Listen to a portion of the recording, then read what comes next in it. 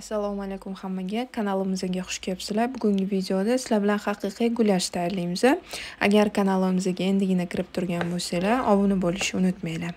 Birinchi o'rinda go'shtni to'g'rab olamiz. To'rtburchak shaklda go'shtni kamaytirsanglar yoki ko'paytirsanglar bo'ladi. O'zinglarni oilanglarga moslashtirib go'sht to'g'ri bo'lgandan keyin bitta piyozni ham to'g'rab olamiz.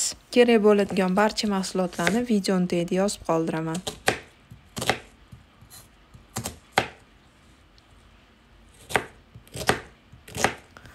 Sabzini qirg'ichdan o'tkazib olamiz va yaxshi qizib turgan tovaga yog' solamiz yog' yaxshi qizigandan keyin go'sht solib qovurishni boshlaymiz. Go'shtni yaxshilab qovurish kerak.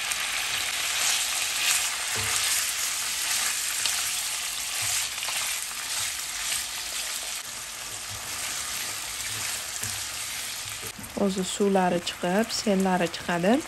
Ozgina tabga ko'ra tuz solamiz. Endi esa piyoz solamiz e, va piyoz bilan birgalikda qovuramiz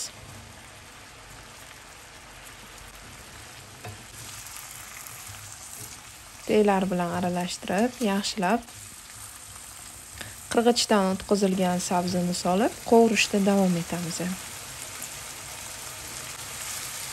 gulash har qatta judayam mazali chiqadi. Endi tomat shuningdek ozgina shakar tuz va ta'bga ko'ra murch solamiz.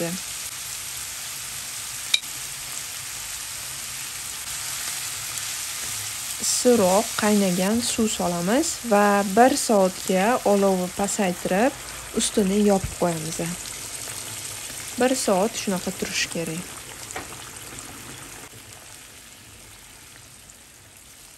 Demak gulash qaynab turgan paytda biz sizlar bilan undan suyuqlik hosil qilib olamiz idishga un solamiz suv qo'shib aralashtiramiz bir tekisda chiqishi kerak qumaloq bo'lishi kerak emas. Shunga ahamiyat beringlar. Bir xil holga kelgandan keyin gulashni bir soat o'tgandan keyin ustini ochib shu massani quyamiz ustiga. Aralashtirib olamiz. Va yana ustini yopib 15 minut qaynatamiz. 15 minutdan keyin ustini ochamiz va gulashimiz tayyor. Juda ham mazali chiqadi. Xohlagan garniringlar bilan tortsanglar bo'ladi dasturxonga. Albatta tayyorlab ko'ringlar. E'tiboringlar uchun rahmat. Tez kunlarda yana yangi videolarda ko'rishguncha.